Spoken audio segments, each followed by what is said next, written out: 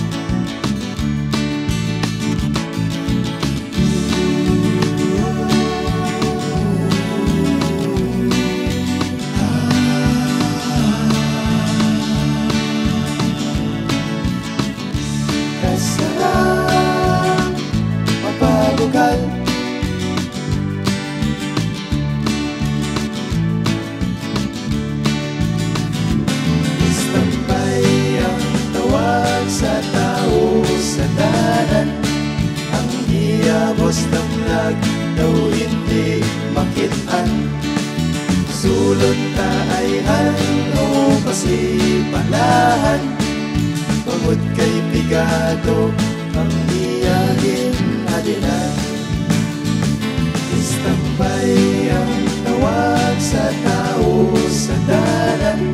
Ang iyabos ng lag daw hindi makitaan.